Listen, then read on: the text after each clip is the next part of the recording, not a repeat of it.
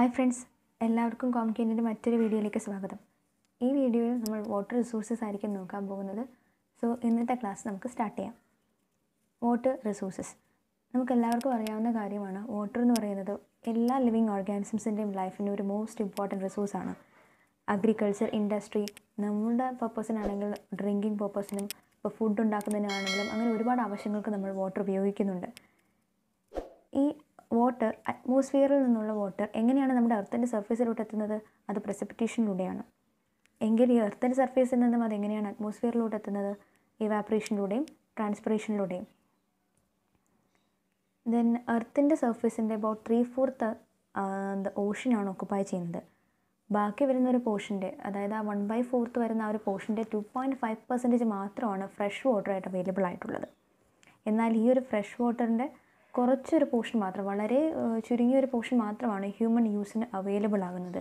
ഇതാണെങ്കിലോ ground വാട്ടറിന്റെയും തന്നെ ലേക്ക് വാട്ടറിന്റെയും റിവേഴ്സിന്റെയും ഒക്കെ ഒരു ഫോമിലാണ് പ്രസന്റ് ആയിരിക്കുന്നത്. ബാക്കിയാണെങ്കിലോ ഫ്രോസൺ സ്റ്റേറ്റിലാണ്. അപ്പോൾ ഒന്ന് ചിന്തിച്ച് നോക്കിയാൽ എത്ര പോർഷൻ എത്ര ചെറിയ പോർഷൻ മാത്രമാണ് നമ്മുടെ ഹ്യൂമൻ യൂസിനായിട്ട് അവൈലബിൾ ആയിട്ടുള്ളത്. അടുത്ത് പറയുന്നത് എങ്ങനെയൊക്കെയാണ് നമ്മൾ വാട്ടറിനെ യൂട്ടിലൈസ് ചെയ്യുന്നത്? First is consumptive nature. ഈ കൺസംപ്റ്റീവ് നേച്ചർ ഓഫ് വാട്ടർ എന്ന് പറയുന്നത് മെയിനായിട്ടും ഇറിഗേഷൻ പർപ്പസിന് വേണ്ടിയിട്ട് വാട്ടർ ഉപയോഗിക്കുന്നതാണ് ഇതിനകത്ത് മെയിനായിട്ടും വരുന്നത്. അഗ്രികൾച്ചറിനൊക്കെയാണ് നമ്മൾ മെയിനായിട്ടും വാട്ടർ അഗ്രികൾച്ചറൽ ഇറിഗേഷന് വേണ്ടിയിട്ടാണ് നമ്മൾ മെയിനായിട്ടും വാട്ടർ യൂസ് ചെയ്യുന്നത്. അപ്പോൾ അത് തന്നെയാണ് ഈ കൺസംപ്റ്റീവ് നേച്ചർ എന്നുകൊണ്ട് ഉദ്ദേശിക്കുന്നത്. Then non consumptive nature non consumptive nature എന്ന് പറയുമ്പോൾ അതിനകത്ത് ഹൈഡ്രോ പവർ ജനറേഷൻ വരാം നാവിഗേഷൻ വരാം അക്വാകൾച്ചർ ഇതുപോലുള്ള കാര്യങ്ങളാണ് നോൺ കൺസംപ്റ്റീവ് നേച്ചറിനകത്ത് വരുന്നത്. ഇറിഗേഷൻ പർപ്പസിനാകുമ്പോൾ അത് കോൺസ കൺസംറ്റീവ് ആവും. നോൺ കൺസംറ്റീവ് ആകുന്ന എപ്പോഴായിരിക്കും ഈ എന്താ ഹൈഡ്രോ പവർ ജനറേഷനും നാവിഗേഷൻ ദെൻ അക്വാകൾച്ചർ അതുപോലുള്ള പർപ്പസസിന് യൂസ് ചെയ്യുമ്പോൾ അത് നോൺ കൺസെപ്റ്റീവ് നേച്ചർ ഓഫ് വാട്ടറായിട്ട് മാറുന്നു. ദെൻ പാർഷ്യലി കൺസംപ്റ്റീവ് എപ്പോൾ ആകും ആണ് വെച്ചാൽ public water supply then industrial power plants ഇവിടെ ഇവിടെയെല്ലാം വെള്ളം യൂസ് ചെയ്യുന്ന സമയത്താണ് അത് അതിന്റെ കൺസംഷൻ പാറ്റേൺ അതിന്റെ യൂട്ടിലൈസേഷൻ പാറ്റേൺ പാർഷ്യലി കൺസംപ്റ്റീവായിട്ട് മാറുന്നത്. ഓക്കെ അപ്പോൾ ഈ മൂന്ന് തരത്തിലാണ് വെള്ളം അല്ലെങ്കിൽ ആ ഒരു ഓക്കെ അപ്പോൾ ഈ മൂന്ന് തരത്തിലാണ് നമ്മൾ വാട്ടറിനെ യൂട്ടിലൈസ് ചെയ്യുന്നത്. Consumptive nature non consumptive nature and partially consumptive nature then കൂടാതെ ഇത് ഇത്രയും വാട്ടറിന്റെ ആ ഒരു യൂട്ടിലൈസേഷൻ പാറ്റേൺ മാത്രമാണ്. ഇനി എന്തൊക്കെ ഉപയോഗങ്ങളാണ് വാട്ടറിനുള്ളത്? ഡൊമസ്റ്റിക് പർപ്പസിന് പറയുകയാണെങ്കിൽ നമ്മൾ ഡ്രിങ്കിങ്ങിന് ഉപയോഗിക്കുന്നു കുക്കിങ്ങിന് ഉപയോഗിക്കുന്നു വാഷിങ്ങിന് ഉപയോഗിക്കുന്നു ബേത്തിങ്ങിന് ഉപയോഗിക്കുന്നു ദെൻ ക്ലീനിങ്ങിന് ഉപയോഗിക്കുന്നു. ഇനി ഇൻഡസ്ട്രിയൽ യൂസസ് പറയുകയാണെങ്കിലോ പവർ ജനറേഷൻ ഉണ്ട്. ദെൻ മെഷീൻസ് കൂൾ ചെയ്യുന്നതിന് ഉപയോഗിക്കുന്നുണ്ട്. കൂടാതെ ടൗൺസിലും മറ്റ് സ്ഥലങ്ങളിലേക്ക് വാട്ടർ സപ്ലൈക്ക് വേണ്ടിയിട്ട് ഉപയോഗിക്കുന്നുണ്ട്. അത് മാത്രമാണോ? ദെൻ അഗ്രികൾച്ചറൽ ലാൻഡ് ഇറിഗേറ്റ് ചെയ്യുന്നതിനും നാവിഗേഷൻ അക്വകൾച്ചർ പോലുള്ള ഒരുപാട് പർപ്പസസിന് നമ്മൾ വാട്ടർ യൂസ് ചെയ്യുന്നുണ്ട്. ഇനി എവിടെയൊക്കെ എവിടെ നിന്നൊക്കെയാണ് മെയിനായിട്ടും വാട്ടർ റിസോഴ്സസ് എസ്പെഷ്യലി ഈ സർഫേസ് വാട്ടർ റിസോഴ്സസ് എവിടെ നിന്നൊക്കെയാണ് ഒറിജിനേറ്റ് ചെയ്യുന്നത് mainly first is in the form of rainfall then സ്നേ സോറി സ്നോഫോൾ ദെൻ സ്നേ seepage of underground water from the springs on to the streams surface streams ആണ്.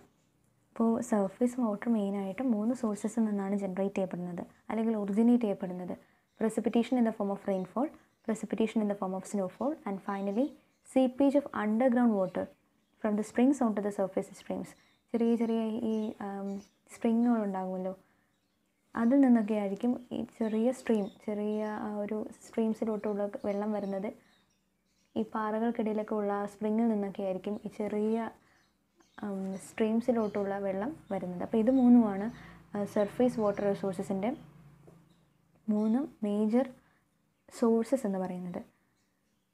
ഇത് കൂടാതെ കുറച്ച് ഡീറ്റെയിൽഡ് ആയിട്ടുള്ള സർഫേസസ് സർഫേസ് വാട്ടർ റിസോഴ്സസ് കൂടിയുണ്ട്. First വണ്ണാണ് ocean അല്ലെങ്കിൽ സീ വാട്ടർ റിസോഴ്സസ് അപ്പോൾ സീ വാട്ടർ റിസോഴ്സസിന് മെയിനായിട്ട് മേജറായിട്ട് വരുന്ന ഓഷ്യൻസ് ആണ് Pacific Ocean Atlantic Ocean Indian Ocean Arctic Ocean Atlantic Ocean etcetera അപ്പോൾ ഡെഫിനിഷൻ പറയുകയാണെങ്കിൽ ഓഷ്യൻ എന്ന് പറയുമ്പോൾ ഓഷ്യനകത്ത് എന്തൊക്കെ ഇൻക്ലൂഡ് ചെയ്യുന്നുണ്ട്? ബേസ് ഇൻക്ലൂഡ് ചെയ്യുന്നുണ്ട് ഗൾഫ് മറ്റ് ocean inlets attached to the above mentioned ബേസും ഗൾഫുമായിട്ടൊക്കെ അറ്റാച്ച് ചെയ്ത് വരുന്ന ഓഷ്യൻ ഇൻലെറ്റ്സും കമ്പൈൻ ചെയ്തിട്ടാണ് ഓഷൻ എന്ന് പറയുന്നത്. മേജർ ഓഷ്യൻസ് ഇവയൊക്കെയാണ്. അതാണ് ഒന്നാമത്തെ surface water resource then second is rivers and stream resources നമ്മൾ ഇൻട്രൊഡക്ഷൻ പറഞ്ഞപ്പോൾ പറഞ്ഞതുപോലെ തന്നെ അവൈലബിൾ ആയിട്ടുള്ള ഫ്രഷ് വാട്ടറിന്റെ ഒരു മോസ്റ്റ് പോർഷൻ റിവേഴ്സിലും സ്മോൾ സ്ട്രീംസിലൊക്കെയാണ് ട്രാപ്പ് ചെയ്തിരിക്കുന്നത്. അപ്പോൾ ഇവിടുത്തെ റൺ ഓഫ് എങ്ങനെ നമുക്ക് സ്ട്രീംസിനും റിവേഴ്സിനും തമ്മിൽ ഡിഫറൻഷിയേറ്റ് എന്ന് വെച്ചാൽ റൺ ഓഫ് ലെസ് ആണെങ്കിൽ അതിനെ സ്ട്രീം എന്ന കാറ്റഗറിയിലോട്ടും അതേസമയം അതിന്റെ ക്വാണ്ടിറ്റി ആ റൺ ഓഫിന്റെ ക്വാണ്ടിറ്റി വളരെ കൂടുതലാണെങ്കിൽ അതിനെ റിവറായിട്ടും കാറ്റഗറൈസ് ചെയ്യാനായിട്ട് പറ്റുന്നു. രണ്ട് വാട്ടർ റിസോഴ്സസും സ്ട്രീംസും റിവേഴ്സും സീന്റെ സീ ഉള്ള ആ ഒരു ഡയറക്ഷനിലോട്ടാണ് എന്ത് ചെയ്യുന്നത്? ഒഴുകി പോകുന്നത്. ദെൻ ഇവ മെയിനായിട്ടും ഡ്രിങ്കിങ് പർപ്പസിനും മറ്റ് പർപ്പസസിനൊക്കെ വേണ്ടിയിട്ടുള്ള വാട്ടർ സപ്ലൈയുടെ ഒരു ഇമ്പോർട്ടന്റ് സോഴ്സ് ആയിട്ടാണ് റിവേഴ്സും സ്ട്രീംസും മാറുന്നത്. സോ അടുത്തത് natural lakes and ponds lake എന്ന് പറയുമ്പോൾ ഇൻലാൻഡ് ഡിപ്രഷൻസ് ആണ്. That whole standing water fresh water throughout the year ഒരു വർഷം ഒരു വർഷത്തിലുടനീളം വെള്ളം അതുപോലെ തന്നെ പിടിച്ചു നിർത്താൻ കഴിവുള്ള ഇൻലാൻഡ് ഡിപ്രഷൻസിനെയാണ് ലേക്സ് എന്ന് പറയുന്നത്. അതേസമയം പോണ്ട് ആണെങ്കിലോ വളരെ ടെമ്പററി നേച്ചറിൽ മാത്രം വെള്ളം പിടിച്ചു നിർത്താൻ കഴിവുള്ള സർഫേസ് വാട്ടർ റിസോഴ്സാണ് പോൺസ് എന്ന് പറയുന്നത്. കൂടുതലായിട്ടുള്ള എന്താ ഹീറ്റ് ഉണ്ടായി കഴിയുമ്പോൾ പോണ്ടൊക്കെ പെട്ടെന്ന് വറ്റി വരണ്ടു പോകാനുള്ള ചാൻസ് ഉണ്ട്. പക്ഷേ അത്രത്തോളം എന്താ അത്രയും പ്രോബ്ലം ലേക്സിനുണ്ടാകാനുള്ള ചാൻസ് വളരെയധികം കുറവായിരിക്കും. ദെൻ റിവേഴ്സിലെയും സ്ട്രീംസിലെയും വാട്ടറിന്റെ ക്വാളിറ്റിയുമായിട്ട് കമ്പയർ ചെയ്യുമ്പോൾ ഈ വാട്ടർ റിസോഴ്സസിൽ നിന്നുള്ള വാട്ടറിന്റെ ക്വാളിറ്റി വളരെയധികം യൂണിഫോം ആയിരിക്കും. കൂടാതെ ഗ്രൗണ്ട് വാട്ടറിനെക്കാളും അല്ലെങ്കിൽ ഗ്ലേഷ്യേഴ്സിനെക്കാളും കൂടുതൽ വേഗത്തിൽ ഈ വാട്ടർ റിസോഴ്സസിൽ നിന്നും നമുക്ക് വാട്ടർ ആക്സസ് ചെയ്യാൻ പറ്റുന്നത് കൊണ്ട് തന്നെ important source of fresh water supply ആയിട്ട് കൂടിയാണ് ലേക്സിനെയും പോൺസിനെയൊക്കെ കണക്കാക്കുന്നത്. ദെൻ അടുത്ത് വരുന്നതാണ് ആർട്ടിഫിഷ്യൽ റിസർവയേഴ്സ് ആർട്ടിഫിഷ്യൽ റിസർവേഴ്സ് അല്ലെങ്കിൽ ഡാംസ് ഇവ മെയിനായിട്ടും hydraulic സ്ട്രക്ചേഴ്സാണ് these are constructed across river valleys അപ്പോൾ ഒരു റിവർ വാലിക്ക് അക്രൂസ് ആയിട്ട് കൺസ്ട്രക്ട് ചെയ്യപ്പെടുന്ന ഹ്യൂജ് ഹൈഡ്രോളിക് സ്ട്രക്ചേഴ്സിനെയാണ് ഡാംസ് അല്ലെങ്കിൽ റിസർവേഴ്സ് എന്ന് പറയുന്നത്.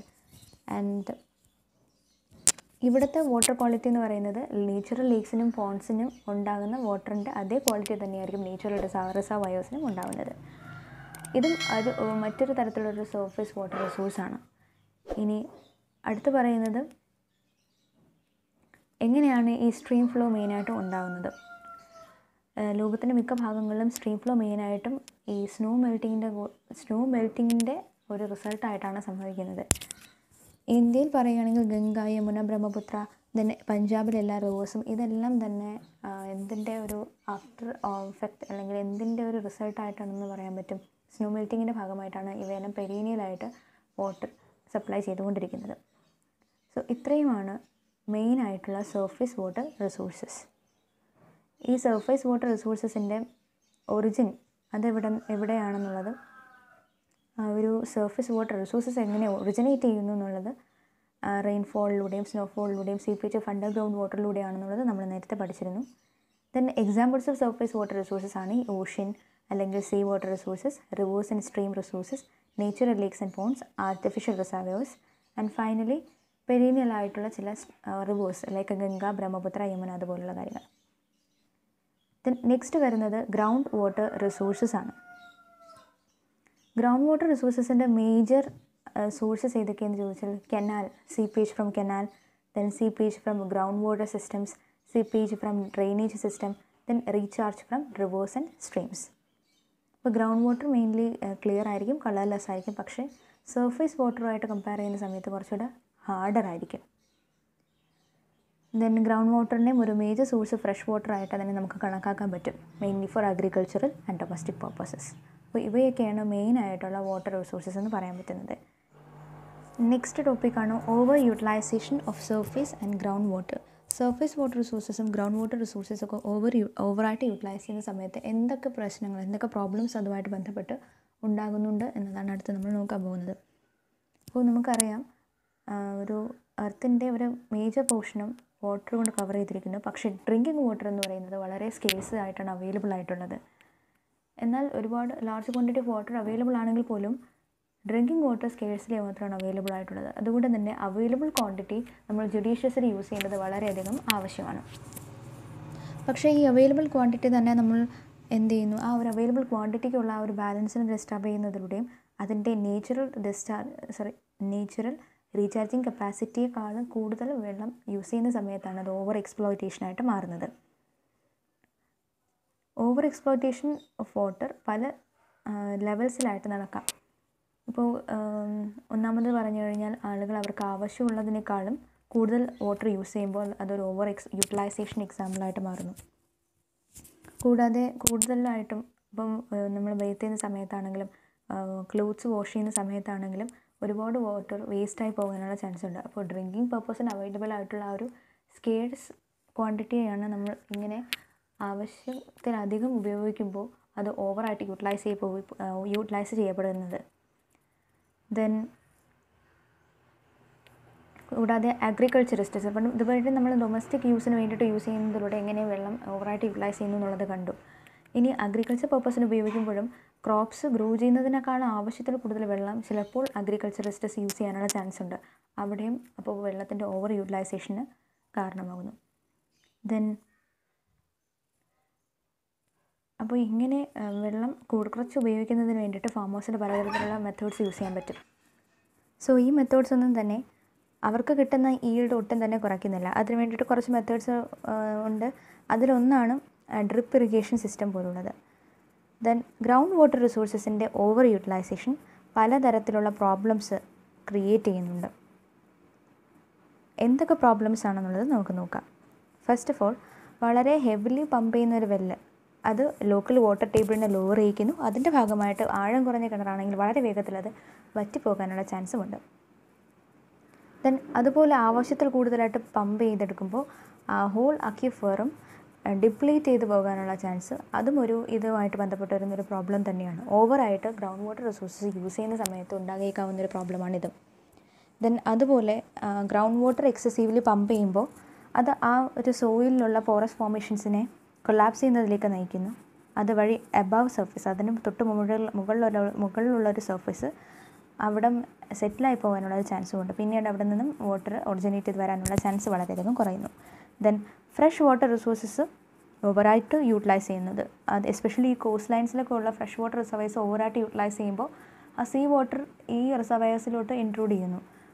അപ്പോൾ എന്ത് പറ്റുന്നു? ആ ഫ്രഷ് വാട്ടർ ഒരിക്കലും അവിടെ താമസിക്കുന്നവരുടെ അഗ്രികൾച്ചർ പർപ്പസിനാകട്ടെ കൊമേഴ്ഷ്യൽ സോറി ഡൊമസ്റ്റിക് പർപ്പസിനാകട്ടെ ഒന്നും ഉപയോഗിക്കാൻ പറ്റാത്ത രീതിയിൽ ആയി പോകുന്നു സോ ഇവ ഇതൊക്കെയാണ് problems associated with over utilisation അല്ലെങ്കിൽ over usage of ground water റിസോഴ്സസും surface water റിസോഴ്സസും സോ നമുക്ക് ഇന്നത്തെ ക്ലാസ് ഇവിടെ വെച്ച് വൈൻഡ് അപ്പ് ചെയ്യാം.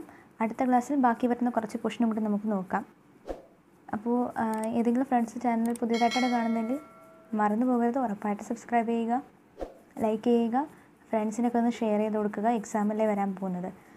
സോ അടുത്ത ക്ലാസ്സിൽ നമുക്ക് കാണാം. Thank you